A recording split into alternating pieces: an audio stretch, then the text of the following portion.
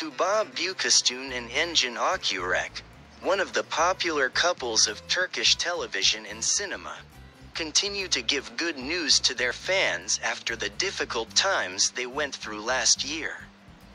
The famous couple, who made a sudden decision in Paris in the past months and made a name for themselves, now made important statements about Engin Akyürek's health condition. In her last interview, Tuba Büyüküstün talked about the progress of her husband's cancer treatment and her preparations for her return to the screens.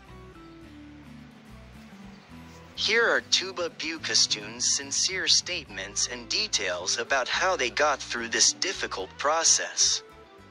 Tuba Büyüküstün started her interview by telling Engin Akyürek about the first moments when he was diagnosed. When he first noticed the discomfort in Engin's throat, he knew something was wrong. When he said we needed to go to the doctor, I was secretly worried, but not as worried as he was. However, when we were diagnosed, they diagnosed us.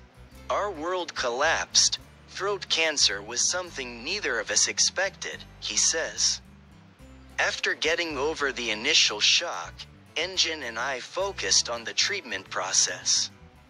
Chemotherapy and radiotherapy sessions were very difficult, but Engin remained strong as always.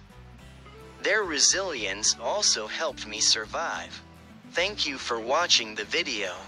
Goodbye. See you in new videos.